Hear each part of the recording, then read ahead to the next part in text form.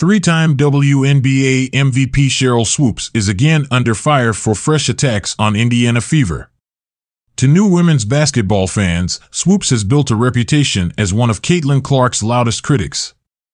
Despite constant pushback from Clark's enthusiastic fanbase, the 53 year old legend has never held back on her opinions about the Indiana Fever star. One of Swoopes' most talked about statements from this season came when she claimed that some Fever players don't want to be on the team due to the hype surrounding Clark, a sentiment that Indiana's roster was quick to dismiss. But Swoopes hasn't let up. In a recent episode of Gilbert Arenas' podcast, No Chill, she weighed in again, shifting her focus to what she called the Fever's big mistake this season.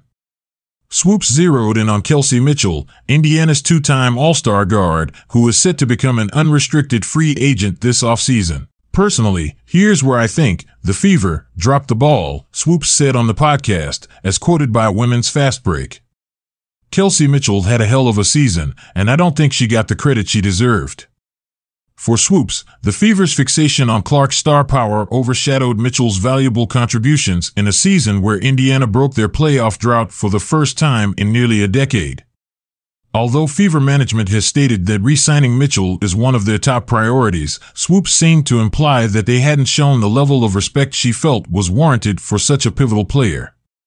Mitchell's impressive season did help Indiana clinch that playoff spot, but the question is whether that loyalty will pay off with a new contract or if her accomplishments have gone underappreciated in the organization's eyes.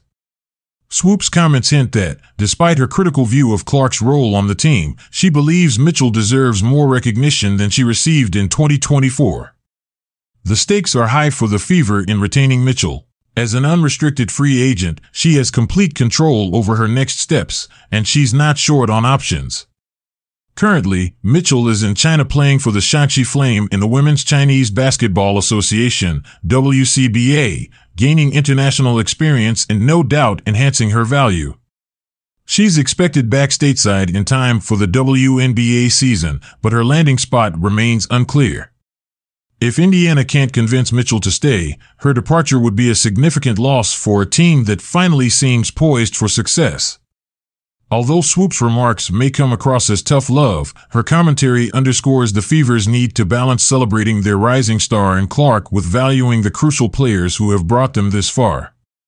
Whether Swoopes' criticisms have weight or not, it's undeniable that Indiana's offseason decisions, starting with Mitchell, will shape the trajectory of the team. For now, all eyes are on the Fever as they work to maintain the core talent that got them back into contention. Whether or not Mitchell continues her journey in Indiana or moves on to a new opportunity, her free agency marks a pivotal moment in what has already been an unforgettable year for the Fever.